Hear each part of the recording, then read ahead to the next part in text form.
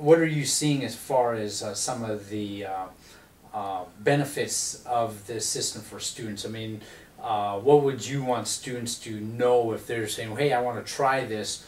Uh, do you have any sort of recommendation that you would give them uh, as to how to most effectively use the tool? I think the- the thing is, first of all, let let the tool give you the appropriate level. Again, you're always tempted to say, "Can I push the envelope?" But actually, from a learning standpoint, that's not always the way you learn best. Okay.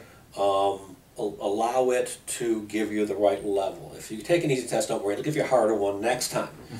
Um, but but but you almost have to have trust that the program's working. Um, stick with it. Establish a good routine so that your study becomes a, a good study habit. Okay. Um, cramming for actuarial exams just doesn't work. It, mm-hmm. it takes time. It takes patience and perseverance. That's why actuaries make the money they do. Okay. Um, employers want not just the technical logical exam, but they also like knowing that you have the discipline mm-hmm. to pass an actuarial exam. Mm-hmm. And so employers view it not only as technical competence, but pass an actuarial exam also tells them you have the ability to focus.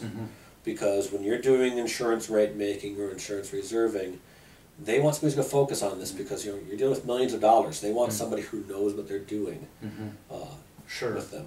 Right. Uh, I always think of it in terms of sports. Uh, they're not looking for the sprinters, but they're looking for those marathon runners, ones that will stick with it and be there for the long haul. So you don't necessarily have to be the brightest student, but maybe persistency is uh, certainly one of the key elements.